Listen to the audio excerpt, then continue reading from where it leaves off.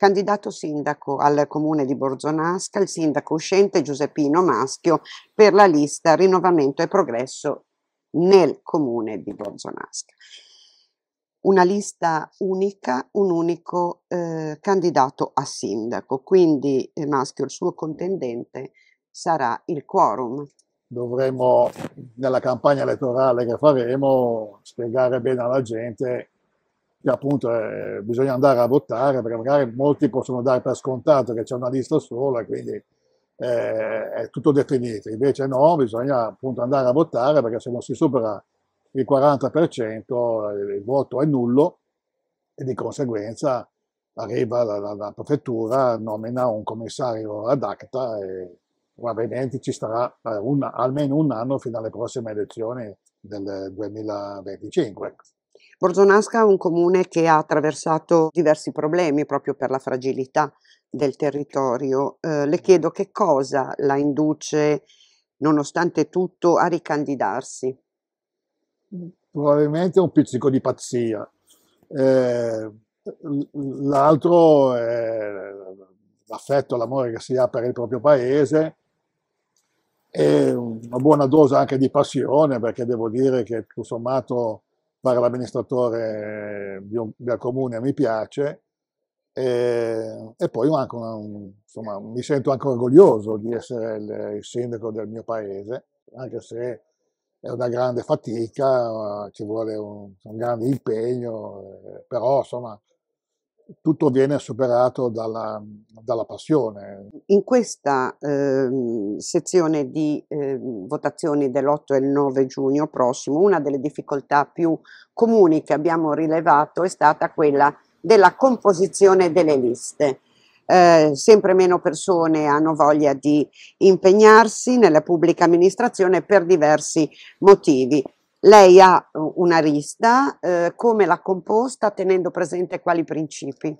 Sì, il fatto che probabilmente saremo soli è anche sintomatico di questa difficoltà a trovare delle persone che si vogliono impegnare in questo, chiamiamolo mestiere, molto difficile, molto, molto complicato.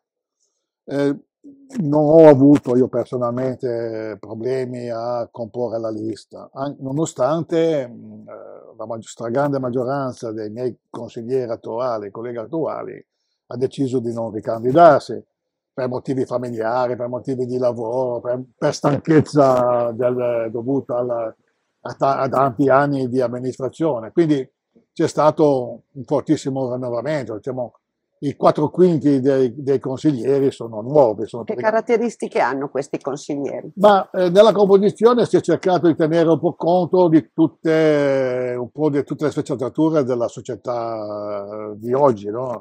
quindi è abbastanza eh, variegato, non, non, tralasciando il fatto di una certa rappresentatività anche del territorio. Insomma. Altro fatto importante, oltre che alle eh, specifiche competenze nei vari settori, è anche quello di avere disponibilità di tempo per quanto è possibile, perché poi eh, la, la, il fatto di essere consigliere o assessore non è un titolo onorifico, significa poi dover eh, impegnarsi a lavorare, perché sennò eh, si corre il rischio di fare più danno che utile. Quindi bisogna, bisogna insomma, avere un po' di tempo disponibile e, e, e, e impegnarsi in queste cose. Credo che, anzi sono certo che la, la, squadra che abbiamo messo in piedi abbia queste caratteristiche e possa fare un, un ottimo lavoro. Posso chiederle in maniera davvero molto sintetica, perché immagino che sia molto articolato, i tre punti più qualificanti del programma che eh, intende proporre in questo nuovo mandato?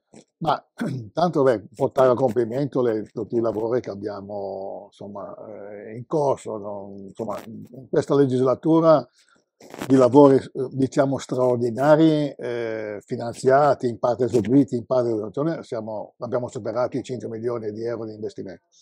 Quindi i, i, punti nevralgici sono la viabilità, che eh, purtroppo noi abbiamo un territorio molto vasto e quindi ci sono 80 km di strade da mantenere, la manutenzione dei rivi, dei fiumi, che hanno anche quelli producono problemi sul nostro territorio, la sentieristica legata soprattutto al turismo che in effetti ha avuto un, un forte rilancio negli ultimi anni e poi il discorso del sociale che diventa sempre più impegnativo, sempre più drammatico, perché, un po' perché la gente diventa più anziana, un po' perché eh, siamo alla frontiera eh, della, diciamo, della costa, chi non, chi non ha eh, spesso, eh, non dico spazio, ma chi ha difficoltà a vivere sulla costa, poi si sposta nell'immediata entroterra perché eh, forse costa meno la vita, insomma, anche perché poi si vive, si vive, bene, si vive meglio.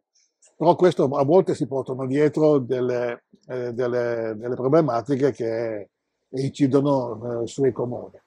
Eh, quindi diciamo che il sociale in questi ultimi tempi sta assumendo proporzioni veramente importanti nella, nell'amministrazione comunale.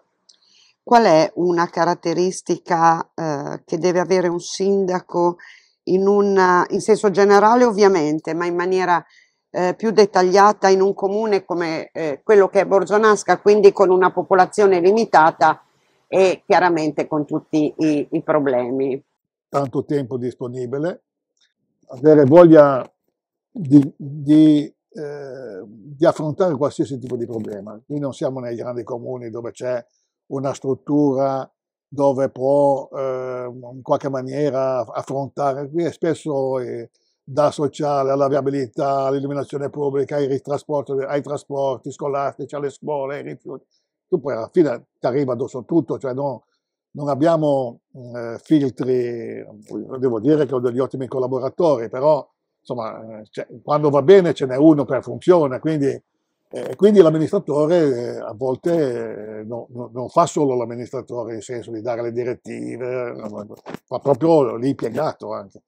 Eh, ci sono, insomma, ci sono, io sento parlare dei colleghi che addirittura devono andare a fare anche lavori manuali, qualche volta in, ci vado anch'io.